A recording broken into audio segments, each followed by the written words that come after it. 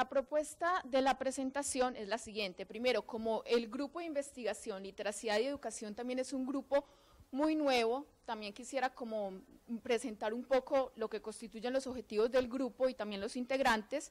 Luego pasaré a una caracterización de la investigación como tal, cuáles son los puntos de partida, los objetivos, la metodología y también presentaré un cuestionario diagnóstico que he, aplicado, pues me centraré simplemente en algunas preguntas que considero importantes y finalmente presentaré una conclusión muy general. Bueno, el grupo de investigación, literacidad y educación está adscrito al Departamento de Lingüística y Filología de la Escuela de Ciencias del Lenguaje. Eh, está conformado por profesores, investigadores y estudiantes de diferentes campos, tanto de la lingüística, de, la, de la educación, de la literatura, de la comunicación social, que están interesados en lo que es el análisis del discurso. Su objetivo es explorar varios aspectos de la apropiación y del uso de lo que es la literacidad a través de las prácticas de lectura y escritura en contextos educativos diversos, desde la educación básica hasta la educación superior. El grupo surge como la necesidad, ante la necesidad de responder a lo que son los desafíos que nos plantean a los profesores y a los investigadores, los diversos cambios que tienen que ver con la apropiación y circulación de los saberes en la sociedad de la información y del conocimiento, además de las actuales transformaciones que han producido las tecnologías digitales en los procesos de comprensión de lectura y composición escrita y en general en la epistemología del conocimiento y de la cultura. Eh, las líneas básicas de investigación del grupo son estas tres, lo que corresponden a la alfabetización académica, la alfabetización digital y lo que tiene que ver con la lectura crítica. Este proyecto que está en esa fase de diseño se ubicaría básicamente en la segunda línea que corresponde a la literacidad digital. Estos son los integrantes del grupo. Eh, estamos eh, tanto profesores nombrados de la Universidad del Valle, adscritos a lo que es la Escuela de Ciencias del Lenguaje, como también a otras dependencias eh, también profesores de otras universidades, tal como por ejemplo la Universidad Nacional de sede Palmira, la ICESI, también profesores de colegios de la ciudad de Cali y también estudiantes tanto de la licenciatura en lenguas extranjeras ya en, su, en la fase del proyecto de elaboración de trabajo de grado y también estudiantes de la maestría en lingüística y español. Ya entraré básicamente a lo que es la investigación como tal. Esta investigación también hace parte de un proyecto macro eh, que busca también hacer como, digamos, este barrido en diversas instituciones de educación superior y el contraste, digamos que una de las fases importantes será realizar ese contraste entre los resultados que se realicen en la Universidad Española y en la Universidad del Valle. El proyecto este proyecto macro está financiado por el Programa Estatal de Investigación, Desarrollo e Innovación orientada a los retos de la sociedad eh, del Ministerio de Educación y Competitividad de España. Eh, está pues a cargo del Grupo de Investigación y Mediación Lingüística de la Universidad de Lleida, España, grupo del cual también hago parte, y se titula Identidad y Cultura Digital en la Educación Lingüística. Bueno, el, tal como lo he indicado, este proyecto se marca dentro de lo que, son de lo que es la literacidad digital, específicamente los estudios sobre las nuevas literacidades, lo que se pretende básicamente es analizar los hábitos de construcción de textos académicos de los denominados nativos digitales. Ya sabemos que esta denominación de nativos digitales es un, es un poco problemática. Entonces esa será también una de las tareas del proyecto que será reevaluar un poco esta denominación como tal. Ya también sabemos que esto de decir que somos inmigrantes digitales o que las nuevas generaciones es, digamos que hay una brecha tajante entre lo que son las nuevas generaciones y, las, y las anteriores a lo que es esta, digamos, esta hegemonía de las, eh, de las TIC, digamos que no, no es tan, tan marcada. Pero por el momento lo vamos a dejar, lo así, nativos digitales, a partir de la observación de los recursos y herramientas Web 2.0 que utilizan los estudiantes universitarios en la redacción de sus composiciones. El objetivo principal de la propuesta es examinar el papel de estas herramientas en la escritura y los cambios que se han generado a raíz de la irrupción de estas. Em, en cuanto a la justificación de por qué el proyecto, si bien es cierto que los estudios sobre las nuevas literacidades eh, están en auge, sobre todo en lo que es en el ámbito anglosajón, lo podemos observar acá en esta breve revisión bibliográfica que he copiado acá, vemos que en el ámbito hispánico es muy poco lo que se ha hecho. De hecho, por ejemplo, resaltan nombres, por ejemplo, Casani en España y poco más, Zavala. Y entonces vemos que es importante trabajarlo y sobre todo, por ejemplo, en el ámbito colombiano, eh, tratar de mirar un poco qué ha pasado con la irrupción de estas herramientas y qué aportan en el ámbito académico, todavía nos quedamos básicamente en lo que es la especulación. Entonces hace falta estudios que realmente muestren qué es lo que está sucediendo y que aporten datos objetivos al respecto.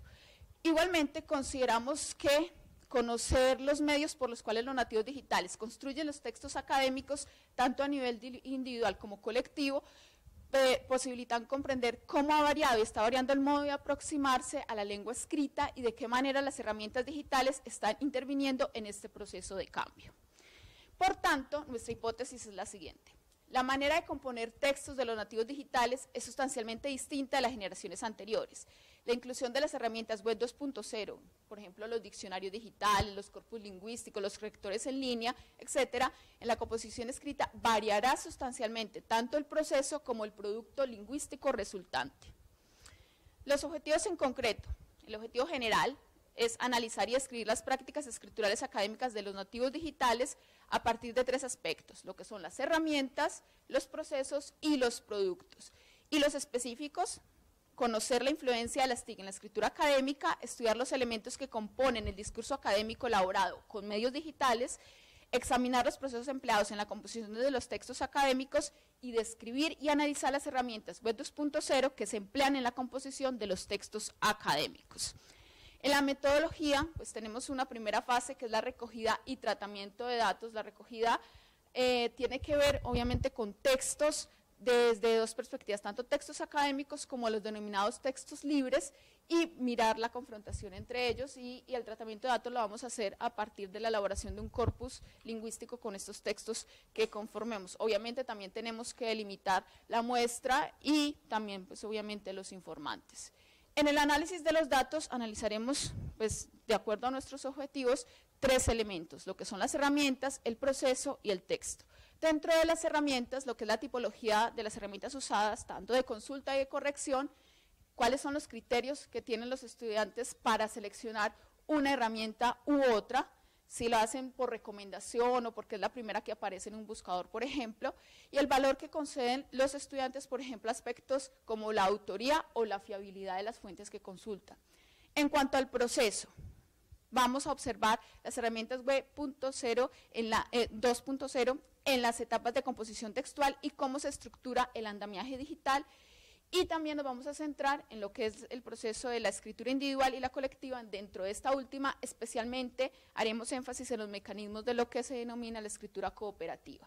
En cuanto al texto, examinaremos diversos aspectos, entre ellos cómo se da esa manipulación multimodal, el tratamiento de los estilos y registros, lo que es lo formal y lo informal, y la presencia de rasgos del discurso electrónico en el académico, por ejemplo, la escritura idiofonemática o el uso de símbolos, entre otros. Em, bueno, como les indiqué, he aplicado un cuestionario diagnóstico a 40 estudiantes informantes de la licenciatura en lenguas extranjeras. Este cuestionario consta de 50 preguntas, una primera parte que trata de evidenciar un poco cuál es el perfil tecnológico de estos informantes y una segunda parte que indaga acerca del uso efectivo que realizan ellos eh, de las TIC en la composición de sus textos. La idea de realizar el cuestionario diagnóstico era también como para comprobar si la hipótesis sí podría tener cabida y si de una u otra forma el proyecto podría tener eh, importancia para, para los estudiantes como tal. Entonces, les presentaré un análisis de unas cuantas preguntas que considero relevantes. En cuanto al perfil social de los informantes, pues podemos observar que predominan, en cuanto al sexo, predominan las mujeres con un 65% frente al 35% de hombres. en, lo que corresponde a la edad, vemos que el mayor porcentaje está entre los 19 años, más o menos la media sería de 21 años de los informantes. Y el estrato socioeconómico también predomina el estrato 3 y en segundo lugar el estrato 2. En cuanto a lo que es el perfil tecnológico, los soportes electrónicos que tienen y, utilizan los estudiantes como tal, el 90% de los informantes emplean lo que es el computador y el 80%, por ejemplo, utilizan smartphones, teléfonos inteligentes. Bueno, en, también en lo que corresponde a este perfil tecnológico y lo que tiene que ver con el conocimiento y uso de herramientas en línea, por ejemplo, vemos que el 100% de los informantes emplean Word Reference, por ejemplo, y también conocen el traductor de Google o el diccionario de la Real Academia con porcentajes muy altos, por ejemplo, el 92,50%. Pero también vemos que otro tipo de herramientas que ayudan en, lo que corresponde a la composición de textos académicos, como son los gestores bibliográficos, las bases de datos, los buscadores especializados, aunque son conocidos, su uso es muy, muy bajo con respecto al otro tipo de herramientas. En cuanto a las páginas en las cuales se comparte información, en esta pregunta se indagaba pues, de forma muy general compartir información tanto de documentos, videos, imágenes, Vemos que predominan, por ejemplo, las redes sociales, con Facebook con un 87,50% y en segundo lugar, con, por ejemplo, con Instagram con un 52,50%. Entonces también acá vemos que, aunque conocen y algunos usan eh, ya páginas un poco más académicas como son la web de recursos didácticos, siguen predominando las redes sociales para compartir la información.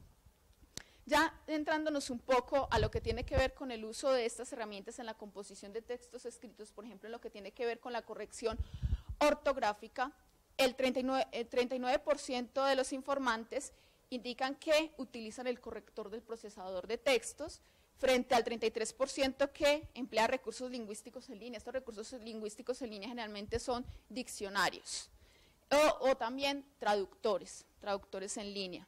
El, 14% indica que se le solicita a alguien que le haga esta revisión, solamente el 6% utiliza recursos lingüísticos en papel, por ejemplo, gramáticas o diccionarios, el 4% dice que ah, eh, utiliza todas las opciones, todas las anteriores, y el 4% dice que no revisa su ortografía.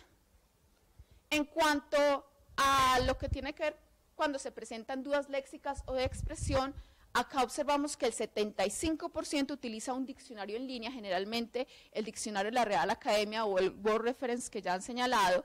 El 40% escribe la palabra o expresión directamente en el buscador, es decir, no tienen una herramienta específica, sino que los resultados que arrojan el buscador es lo que, lo que cogen como tal. El 8% sigue la recomendación del corrector del procesador de textos eh, que esto contrasta un poco con lo anterior. En lo anterior, cuando la ortografía sí le hacen caso totalmente al corrector, pero lo que tiene que ver con dudas léxicas no desconfían un poco más. Y por último, el 5% utiliza un diccionario en papel. Entonces vemos también que de una otra forma se le está dando relevancia a lo que es lo digital frente a lo que es el papel como tal. En cuanto a las fuentes que emplean para la redacción, Ningún, ningún informante dijo que solamente empleaba libros, artículos, revistas en formato impreso, mientras que el 45% dijo que utilizaba este tipo de elementos en formato digital y el 55% emplea ambos formatos, o sea, consulta tanto en formato papel como en formato digital. Y también de cómo preparan su trabajo escrito. Entonces vemos que sobresale ampliamente los que indican que redactan directamente en formato digital, después los que toman notas a mano pero redactan en formato digital, en tercer lugar los que redactan a mano y luego lo pasa al computador y por último tenemos los que toman notas de audio y redactan en formato digital. Entonces, como les he indicado, pues obviamente el, el cuestionario sí nos lleva a pensar, sí, reconocen que existen herramientas que son útiles para la composición de textos en el ámbito académico, aunque no las utilizan todas. Y también que se le da importancia a esto de lo digital, y esto lo vamos a comprobar un poco con los comentarios que ellos tenían la opción también de realizar en el cuestionario. Uno, un estudiante indicaba que este tipo de herramientas son muy útiles para organizar, encontrar y seleccionar información, pero en mi caso son desconocidas muchas de estas herramientas. También otro recalcaba que nunca las ha utilizado. Acá también hay un aspecto importante. Hay como una especie de barrera, por ejemplo, entre lo que es, eh, se utiliza, por ejemplo, Internet como ocio y no tanto en lo que viene a ser como en el aspecto académico. Esto lo vemos en este comentario. Por ejemplo, me gusta jugar mucho en Internet, sobre todo los juegos en línea y los de Facebook. Y casi la mayor parte del tiempo que paso conectada es jugando. Todo esto más que chateando. Y más que chateando también inferimos más que empleando el Internet con fines académicos. Hay muchas posibilidades que yo desconocía, ya que suelo usar las básicas o más empleadas por mis compañeros. Por lo tanto, creo que si dedicara tiempo para explorar un poco más, podría encontrar mejores herramientas o igual de buenas que las que ya uso. También resaltan que facilitan las cosas este tipo de herramientas, por ejemplo, hacen que todo sea más sencillo. Pero también hay una actitud crítica, deben usarse cuidadosamente, aunque el estudiante no especifica por qué se deben usar cuidadosamente. Imaginamos que tiene que ver sobre todo con la fiabilidad o con los datos que aportan. Otro, en muchos estudiantes, otro comentario que también hace énfasis en ese desconocimiento, muchos estudiantes no conocen herramientas especializadas para ciertas tareas. También otro que hace énfasis en eso de que son, podrían ser distractores, creo que aportan mucho en la educación, pero también son un distractor, por ejemplo, las redes sociales. También para que utilizan Internet, por ejemplo, ver videos de YouTube y otra vez procrastinación. A veces el Internet me impide realizar mis deberes universitarios. Acá vemos, no se ve Internet como una herramienta que pueda ayudar en el ámbito académico, sino más bien como algo que puede, digamos, desfocalizar frente a esta tarea como tal. Al hacer la encuesta, veo que nosotros como estudiantes estamos haciendo un uso a esta herramienta muchas veces que hace que la búsqueda sea más fácil, incluso didáctica y no aburridora.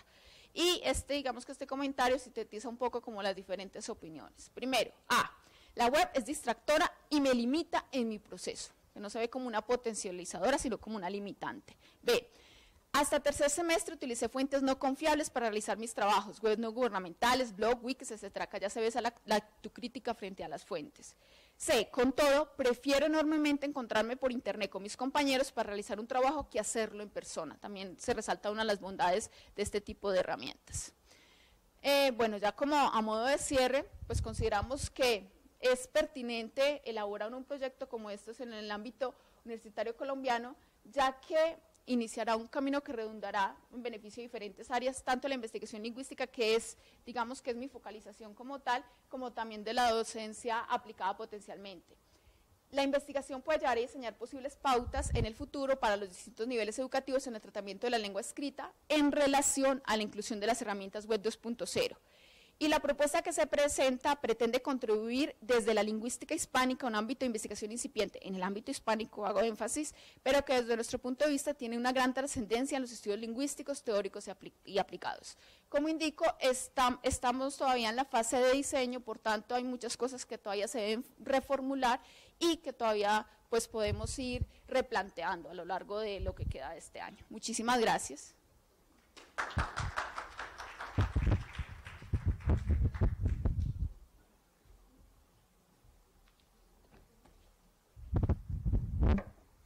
Bueno, eh, muchas gracias, profesora.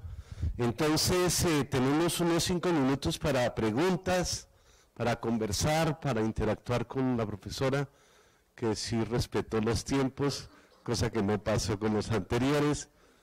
Eh, sugerencias para, como ven, es un proyecto de investigación que intentó implementar durante este semestre, pero que puede continuar. Entonces, si hay apreciaciones que quieran hacerle, Bien, profesora, aquí la jefe, supongo. Perdón, como no estamos muchos, creo que podemos hablar. Lilian, eh, conocían parte del proyecto porque lo presentaste, pues es una, son avances respecto a tu propuesta de, de investigación para el año de prueba. Eh, veo que está muy avanzado y me, te felicito y veo que también está enmarcado ya en el trabajo del grupo de literacia y educación que, han conformado y acaban de, registrar en la vicerrectoría. Entonces, pues los, felicito a ti y al profe Vargas, que son los que más han impulsado la idea, y pues a los demás profesores. Eh, solo quería como comentar de pronto preguntar algo. Sí, es que este tema, eh, no sé si más allá de la Escuela de Ciencias del Lenguaje, pero por lo menos en la, Escuela de Ciencias del Lenguaje es un tema que interesa a muchos o nos interesa y se toca con algunos proyectos que tenemos en otros grupos. Em, de hecho, nosotros tenemos en el EILA un, esbozo de proyecto para presentar sobre, sobre literacia crítica, informacional y digital también que va más dirigido hacia los docentes de educación básica y media. Queremos hacer rastreo de cómo está la literacia de esos docentes también para, sobre todo ligado a todos los proyectos que hay de uso de tecnologías en la educación. Hoy día queremos llevarlo a cabo. Entonces me parece que tenemos mucho en, común y que conversar resultados que ustedes están sacando, pues que ya se están empezando a, perfilar a, partir de estos proyectos. Em, o sea que es una invitación más a que, lástima que no haya más profes acá, que compartamos eh, este tipo de, avances. Eh, la pregunta en relación con la encuesta es que mm, tú tocas o te interesa el tema de la literacidad eh, y en particular del uso de manejo de herramientas tecnológicas o web 2.0 para la escritura, cuando le preguntan a los estudiantes, ¿haces alguna ¿qué, herramientas utilizan? ¿Haces alguna diferencia entre cuando escriben en lengua materna o cuando escriben en lengua extranjera? Porque quizás allí en, en, lo que nosotros hemos realizado en el grupo de ILA, nosotros hemos enfocado más en la escritura en lengua extranjera y por eso sale mucho también el uso de herramientas como traductores, el uso de, de diccionarios eh, en línea, del Word Reference, que bueno, allí tienen muchas opciones. No sé si hacen la diferencia y cuando vas a abordar el tema de la escritura académica, si lo van a considerar solamente cuando escriben en la lengua 1 o la lengua 2. ¿Alguna otra pregunta? Para no ir y volver. bueno.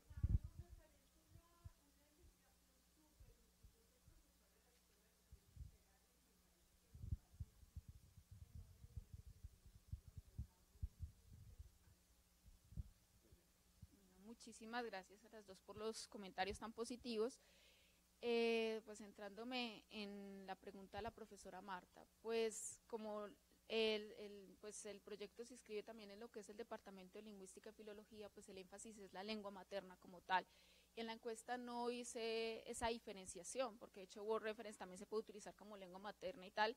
Y también pensando, claro, lo de los traductores también es interesante porque también se podría pensar, por ejemplo, para elaborar textos argumentativos, a veces necesitarían, por ejemplo, traducir textos de otras lenguas para retomar elementos, pero creo que sí sería importante y sobre todo porque las muestras se están tomando de la licenciatura de lenguas extranjeras cuando el énfasis...